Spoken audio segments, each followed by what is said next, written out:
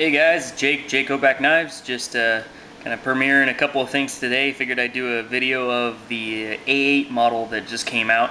Uh, took a few of these to blade, had a couple left over, but they went out to the guys on the email list. I've actually got to box these two up and send them out here today.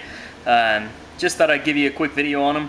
They are just a bit smaller than an A10, just width-wise. They have the same length blade.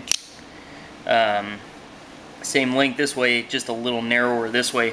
Figured to make it a little more pocket friendly. Um, I've got a A15 here to compare it to size-wise. This is that prototype that I just did a video of, the uh, HRD system with the pivot bearing, or the, not the pivot bearing, but the detent bearing in it. So on this A15 here, uh, size difference, not a huge size difference, but width-wise, they make a pretty decent difference here. Stack them on top of each other and you can see pretty much the same thickness. I go for beefy. Um, these are uh, 220 thou thick tie and 200 thou CPM M4 on the blade steel. Bearings on the pivot like normal, the cage bearings.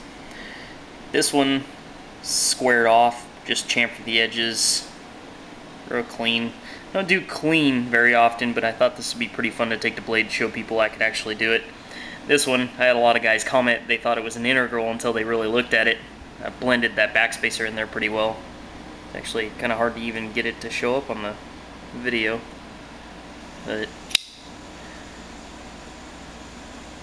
like all my folders, carbidized lock, all the fancy stuff, the bearings on the pivot and all that stuff. Most everything now will have the HRD system for the detent, but these ones are before, did these ones before I had a chance to do the uh, HRD system like I did on this A15 prototype. But yeah, there she is. Well, thanks for looking, guys. Uh, look forward to uh, the next couple of videos. I'll have uh, somebody much better looking on the videos displaying the knives instead of me, so you don't have to listen to me as much. Alright guys, have a good one.